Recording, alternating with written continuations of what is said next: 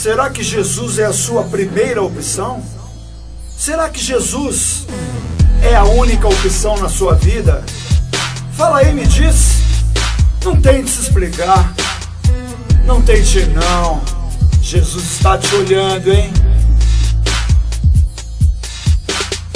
Será que Jesus é a sua primeira e única, única opção? Será? Me diz, não tente se explicar, não, não tente não, não.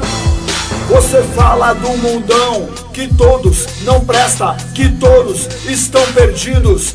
Você fala do seu pastor, fala dos amigos e cria inimigos. É, mete o pau no jogral, no coral, no cantor da sua igreja. É, isso é mal, é mal, muito mal. Isso é mal, se liga que é mal, é coisa do mal. Mas se passar do seu lado um Camaro rebaixado, você fica louco, desesperado e fala que está, que está tudo errado, que aquele carro deveria ser do povo de Deus. Como é que é? Não, aí não, não, aí não. Tu está brincando, tu está desesperado tu está vacilando, vacilando. Xinga, xinga mesmo. Ofende, ofende a Deus, entristece a Deus e fala. Porque dentro daquele carro não poderia ser eu. Não tô entendendo. No fundo, no fundo, é um crente frustrado que quer mudar só pra ganhar grana e provar pros amigos Pra sua família que venceu, que lutou.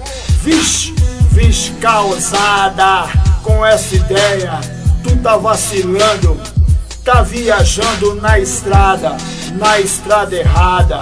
Deus está de olho, se ligou. Deus está observando Quem traiu, quem mentiu, quem falou Quem adulterou, quem matou, quem mandou roubar Ou então quem roubou? Isso mesmo, quem roubou? Será que Jesus é mesmo a sua primeira opção? Será? Não acredito não, não acredito não.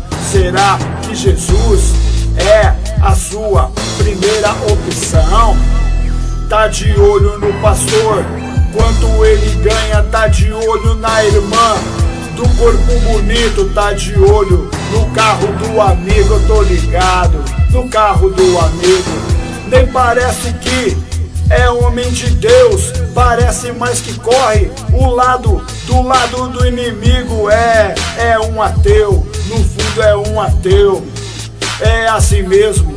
Dentro, dentro, dentro da nossa igreja tem fulano que fala em línguas. É, repete o tempo todo a mesma coisa. Não sabe falar nada a não ser alabachúrias. E mais nada. Cai fora, traidor 71. Tu tá enganando, decorou apenas, apenas, apenas uma palavra. É ficar de olho nos crentes que estão de verdade dentro da igreja, cheio de unção.